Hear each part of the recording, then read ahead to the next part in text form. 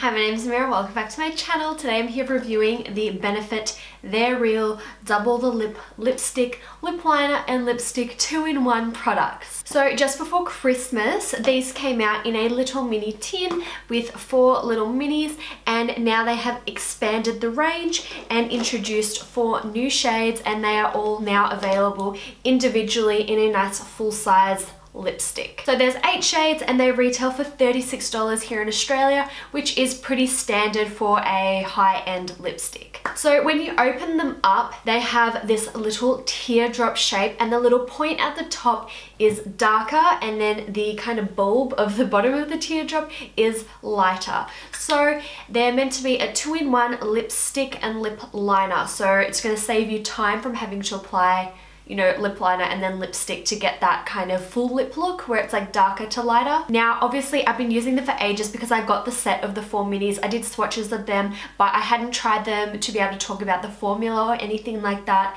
So that's why today's more of a review, but I'm still going to insert swatches of all eight shades since there are the new shades as well. So thank you so much Benefit for hooking me up with the new shades. As you can see, one is missing here because it's in my handbag, but I already filmed the swatches the other day, so it's okay. So personally with the lip liner and lipstick two in one, I, some of the shades it works well when you kind of hold them because you obviously want to hold the darker shade around the edges so that it's darker on the edge and lighter on the middle. But personally for most shades, and just my personal preference of applying them, I kind of just like to chuck them all over and blend the two colors into one. It's so much easier, I guess it completely defeats the purpose, but I have seen other people and they were fine to apply it with the two-in-one. The actual formula is so beautiful, it's just kind of like the standard MAC lipsticks, you know, just like a really nice standard lipstick with a satin finish that lasts really well, that isn't too drying. I mean, it says like eight hours wear, I think I saw somewhere, yeah, eight hours of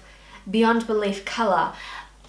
Look, if you're to eat, the lighter shades are to come off. The darker shades do have pretty good staying power though. So if we go through all the shades, I'm to give you a little rundown on what I think of all of them. So the first one is Criminally Coral, and this one is probably the one where I applied it when I apply it with that ombre look, I find that the center is too light for the lipstick on the outside and they didn't really blend together that well. So that's why this one, I just prefer to apply all over and blend the two colors in together and then it is a beautiful color. When I first applied it, I was like, eh, not in love, but when I mix the two colors, it is beautiful. It is such a gorgeous summer shade. For people who like corals, it is a must-have. Then we have Nude Scandal. This is just a very nude lip color, very standard nude lip, beautiful shade. It's going to work for a lot of different skin tones I do like this one. It's a, it's just a nice everyday nude. Then we have Lusty Rose. You guys know how much I love Lusty Rose. It was my favorite in the four minis that came out. I've worn it in quite a few Instagram pictures,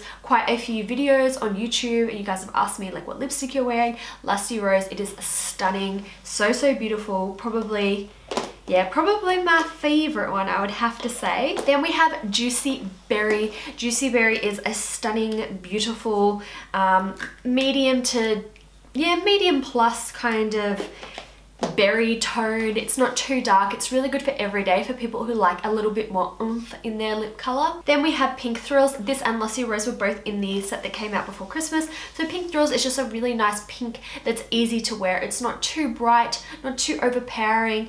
Still, yeah, quite wearable. Then we have Fuchsia Fever and this is like Barbie pink. Uh, this is definitely one of the new shades. It is really, really nice. I quite like it um, for more summer though because it's so like bright. Then we have Flame Game. Flame Game is the orange from Before Christmas as well. This is a beautiful orange. Personally, I would wear this one though with a lip pencil to so that it's brighter. My natural lip color is quite pigmented, so I would kind of want to, um, not that it's not pigmented, like it is still really orange, but just I like oranges, but when I wear them, I have to wear oranges with a lip liner. I just feel like they need to be really, really, really crisp. Then we have a Revved Up Red. This isn't like a bright red. I'm really scared of wearing reds, but it is a beautiful shade. I really, really like it. So yeah, Revved Up Red, really nice, muted red. I'd say muted red. It's not too overbearing, but again, if you did wear it with like a proper red red lip pencil, I know it defeats the purpose of like, this is meant to be, you know, lipstick and lip line up two in one but yeah I you could get it to be like more of that true kind of pin-up red. Yeah, that is my little review on these. I filmed this the other day and the video was so long and rambly and it just went all over the place. I was like, what are you doing? So I just had to refilm it because I really like the lipsticks and I wanted the video to be really good for you guys.